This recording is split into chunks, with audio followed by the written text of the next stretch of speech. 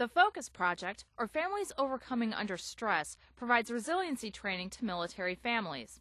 Focus teaches communication and problem solving skills to military families to meet the challenges of deployment and reintegration.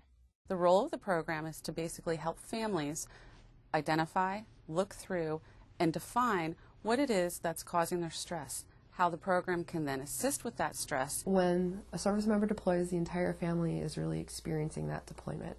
And um, deployments can be an opportunity for a lot of growth, but they can also be an opportunity for, you know, there's quite a few challenges often associated with those. And Focus provides skills so that those families can stay strong through those multiple deployments. Focus uses a variety of tools, one of which is the feeling thermometer, used to teach emotional regulation skills. That provides a common language for the entire family to be able to discuss how they're feeling.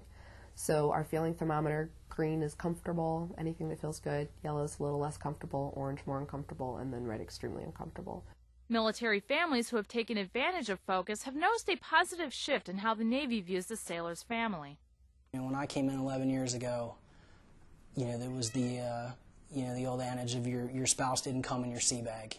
And to see now, you know, 11 years later, where they're really understanding that families are just as important to the military as a service member, it definitely makes me feel better about being in the military. It's the acknowledgement that our families are under a lot of stress, and there's a program out there that's equipped to handle the different stress levels that we all go through. To learn more about the Focus Project, visit focusproject.org. From Washington, I'm Petty Officer Liz Vlahos.